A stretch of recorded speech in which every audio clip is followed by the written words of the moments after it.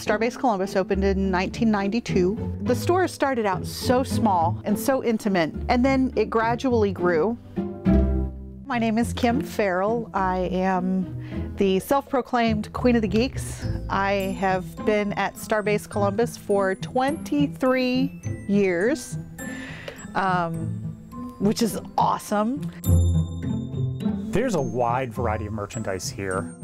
There's a lot of Star Trek um, memorabilia, games, um, figures, ships, electronics. We even have a um, Bluetooth communicator that hooks to your phone and makes all this, you know, the noise and you can talk on it. Enterprise Bridge, Lieutenant Uhura. So my name is Mark Williams and um, I have been involved in Star Trek fandom for 30 years. We also have quite a bit of Star Wars merchandise, um, similar things, action figures, um, ships, and then a wide variety of other um, science fiction. Doctor Who, Babylon 5, Firefly. It's a little bit of everything. There have been a lot of really interesting little events that we've had at the store. One of the really cool things that we did is we became a post office for a day the original um, Star Trek stamp, the Enterprise, came out. Starbase was a post office for a day to launch that stamp. Robin Curtis, who was in Star Trek 3, she's been to the store. Jonathan Del Arco, who played Hugh Borg. Marc Okrand, who created the Klingon language, he's been here too. The most turnout that we ever had at the store is our beloved Jimmy Doohan, who played Scotty, came to the store and did autograph signing for free.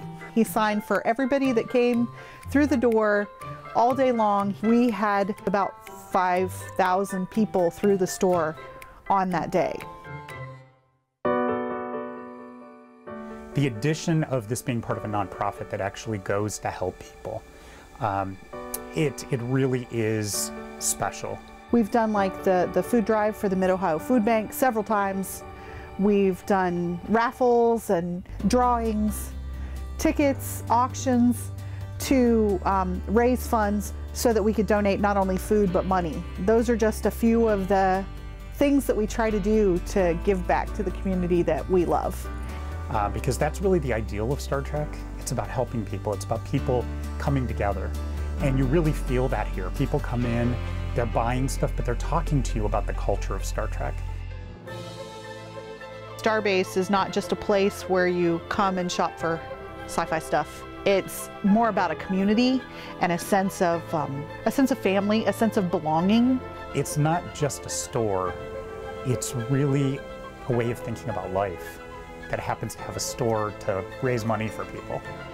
When you walk through the door here, you're always greeted with a smile. Everybody is accepted and everybody is made to feel comfortable. What unifies us is the love of Star Trek or the love of science fiction. Pretty soon, you keep coming back, you, you become part of the Starbase family.